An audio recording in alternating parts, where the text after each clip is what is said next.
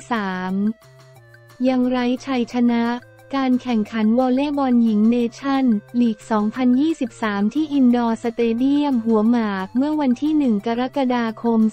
2566 เกมในกลุ่ม 6 ทีมวอลเลย์บอลหญิงไทยลงสนามเป็นเกมที่ 3 ของสัปดาห์นี้พบกับทีมชาติญี่ปุ่น ทีมสาวไทยทีมอันดับที่ 14 ของโลก ลงสนาม 2 นัดในสัปดาห์ที่ 3 ก่อนหน้านี้แพ้รวดอยู่อันดับที่ 13 ของตารางคะแนน ผลงานรวม 3 สัปดาห์ชนะ 2 แพ้ 8 นัด ขณะที่ญี่ปุ่นอันดับ 6 ของโลก ผลงาน 2 นัดก่อนหน้านี้ ชนะ 1 แพ้ 1 รวม 3 สัปดาห์ ชนะ 6 แพ้ 4 อยู่อันดับที่ 8 ของตารางคะแนน เกมนี้โค้ชด่วน ดนัยศรีวัชระเมธากุล หัวหน้าผู้ฝึกสอนทีมสาวไทย ส่งผู้เล่นชุดแรกประกอบด้วยชัดชุออนโมกศรี ทิมพิชยากกรำพรพันธ์เกิดปราดหัตถยาบำรุงสุข ทัดดาวนึกแจ้ง อัชราพรคงยศ โดยมีปิยนุชแป้นน้อยกับสุภัตราไพโรธเป็นตัวรับอิสระเปิดฉากเซตแรกสาวญี่ปุ่นออกมาเล่นได้อย่างเหนียวแน่นตามสไตล์ ทั้งเกมรุกและเกมรับขณะที่สาวไทยพยายามลดข้อผิดพลาด เน้นลูกดูดันในการทำแต้มแต่ยังไม่พอสุดท้ายไป 18 ถึง 25 ญี่ปุ่นออกนำ1ถึง0เซตเซตที่ 2 เปิดฉากได้อย่างสูสีทั้งสองทีมต่างงัดลูกหนักออกมาทำแต้มที่หัวเสา แต้มมาเสมอที่8ถึง8จากนั้นรูปเกมยังสูสีแต้มมาเสมอ 16-16 ก่อนญี่ปุ่นกลับมาเน้นบล็อกและเกมรับที่เหนียวแน่น ขึ้นแท่นไปก่อน 24-20 ทว่าสาวไทยไม่ยอมช่วยกันเก็บทีละแต้มตามหลัง 22-24 สุดท้ายไม่ทันพ่ายไป 22-25 ญี่ปุ่นนำ 2-0 เซตเซตที่ 3 เปิดฉากทั้งสองทีมต่างผิดพลาดกันเองบ่อยครั้ง รูปเกมเกมสุดสูสีเน้นทำแต้มที่บอลเร็วและหัวเสาทำให้แต้มมาเสมอที่ 11ถึง11 จากนั้นญี่ปุ่นลดข้อผิดพลาดลงและกลับมาเล่นได้อย่างเหนียวแน่น โดยเฉพาะเกมรับ แม้ว่าสาวไทยจะแก้เกมด้วยการเล่นบอลเร็วมากขึ้นเพื่อหนีบล็อก แต่ก็ไม่เป็นผลสุดท้ายพ่ายไป0-3เซต18-25 22-25 และ 20-25 สรุปผลการแข่งขันวอลเลย์บอลสาวไทยพ่าญี่ปุ่น 0-3 เซต 18-25 22-25 และสาวไทยลงสนาม 3 นัดในวีค 3 แพ้รวดขณะที่ญี่ปุ่นเก็บเพิ่มอีก 3 คะแนนชนะ 2 แพ้ 1 อยู่อันดับที่ 5 ของตารางคะแนน สำหรับโปรแกรมนัดต่อไปทีมสาวไทยจะลงสนามนัดสุดท้ายพบทีมชาติบราซิลในเวลา 20.30 นาฬิกา ที่อินดอร์สเตเดียมหัวหมากช่อง 7 HD ยิงสด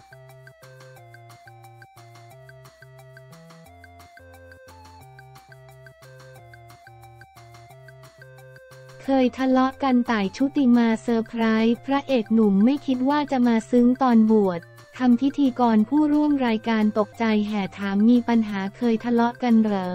ต่ายชุติมาเซอร์ไพรส์พระเอกหนุ่มไม่คิดว่าจะมาซึ้งตอนบวชรายการเดอะวอล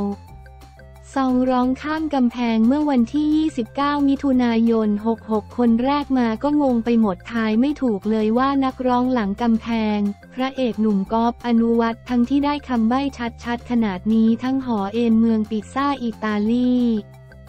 ปริญญาโท กำแพงเมืองจีน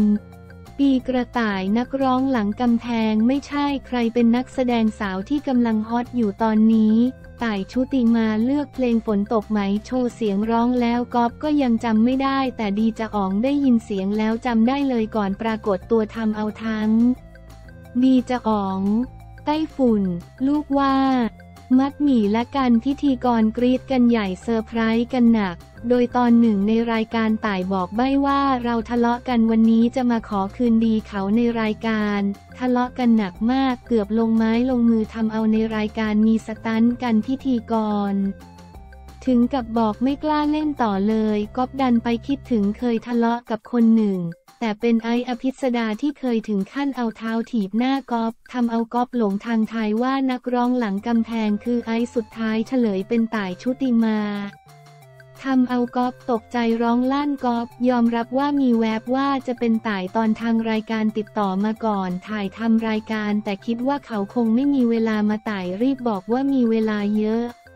ก่อนที่การจะสนใจถามว่าคุณมีปัญหาอะไรกันไหม ส่วนดีจะอ๋องก็อยากรู้ถามด้วยความสงสัยเช่นกันว่า เคยทะเลาะกันเหรอก๊อฟบอกว่าเคยทะเลาะกันต่ายก็ตอบว่าในละครคือตีกันลงไม้ลงมือกัน โดยก๊อฟเผยว่าเพิ่งได้ร่วมงานกับต่ายสนุกด้านต่าย ก็ดีใจได้ร่วมงานกอล์ฟอีกพร้อมบอกว่าเราก็มีผลงานเพลงอยู่นะ แต่ร้องไม่เก่งพร้อมทั้งเผยโมเมนต์ซึ้งกอล์ฟขอบคุณต่ายที่เสียสละเวลามาก็ดีใจดีใจทุกครั้งตอนผมบวชเขาก็ส่งชุดนาคชุดอะไรมาเอาไหม แค่นี้เราก็รู้สึกดีต่ายร่วมบุญ เป็นเพื่อนที่ดี เราก็ดีใจที่ได้ร่วมงานกันด้านต่ายย้ำดีใจที่ได้ร่วมงานกันอีกครั้ง ตอนนั้นที่เล่นด้วยกันก็สนุกมาก วันนี้ก็สนุก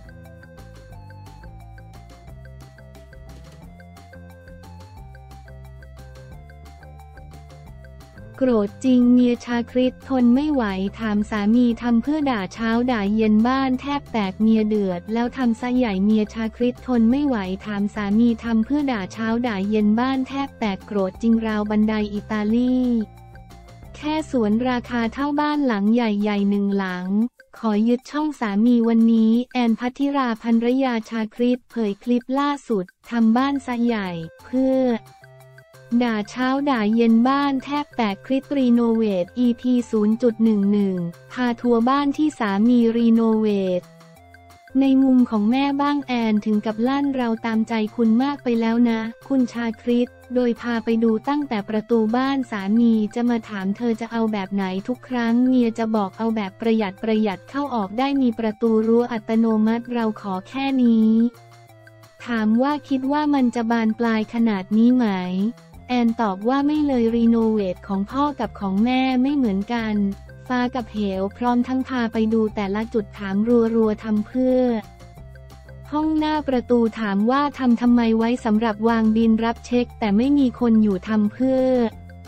อีกจุดข้างโรงรถทำเหมือนสไลเดอร์ทางโค้งเพื่อปาร์ตี้หมูกระทะเมียถามอีกแล้วเพื่อเข้าใจคำว่าบ้านแล้วบานไหมโรงรถเมียเตรียมเอาไปทำที่พักทุเรียนแล้ว ลั่นทำบ้านขนาดนี้คงไม่ได้ซูเปอร์คาร์เร็วๆนี้หรอก แอนยังเล่าว่าตอนแรกจะยึดห้องฟิตเนส ความฉลาดของพ่อทำพื้นให้เป็นพื้นยาง ทุเรียนวางไม่ได้มีอยู่อย่างหนึ่งใบ สอนอาราคามาเป็นลมโทรหาสามีชาคริตเธออยู่ไหน แล้วโทรเรียกเลยกลับมา ฉันมีเรื่องจะคุยด้วยเธอทำเสียงแบบนี้ฉันกลัว เราก็เข้าใจเขานะ เขาเป็นคนหาเงินเขาอยากได้สิ่งนี้